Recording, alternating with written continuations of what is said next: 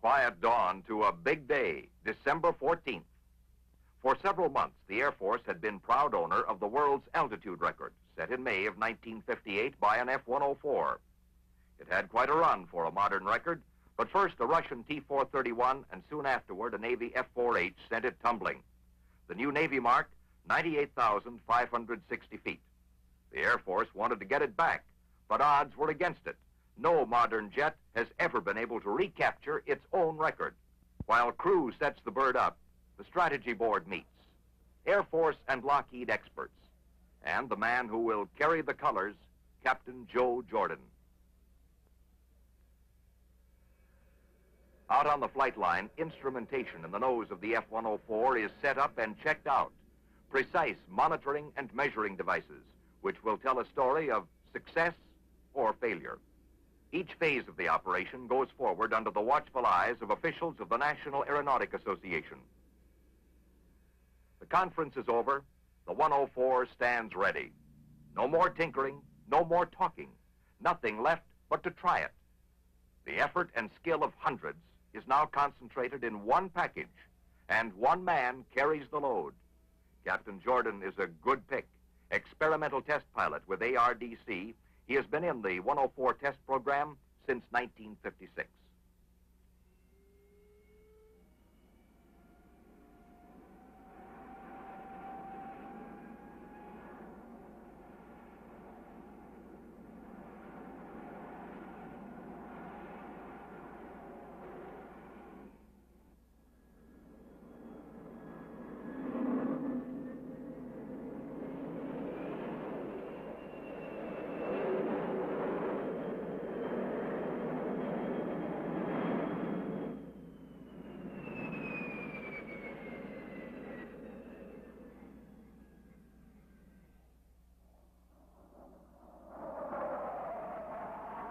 Captain Jordan wastes no time. On the way up, he hits Mach 2.36, 1600 ground speed, and also sets a world time to climb record for 30,000 meters, 15 minutes, 4 and 9 tenths seconds. Three radars and six high-altitude theodolite cameras feed position information to the instrument room. Graphs record the 104's progress as it zooms over the top.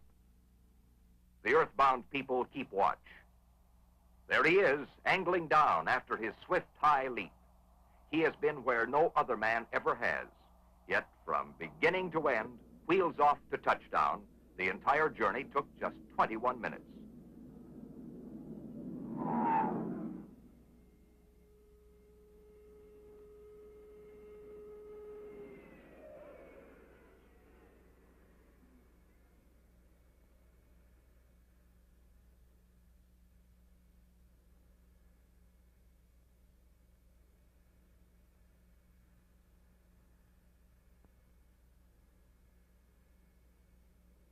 He's hacked it, beat the Russians by a mile and a half, and the Navy by almost a mile. The new record, 103,395 and a half feet. This year's edition of the Starfighter story repeats the theme of previous years. As performer, as hunter, as protector, as record maker. The F-104 still leads the pack.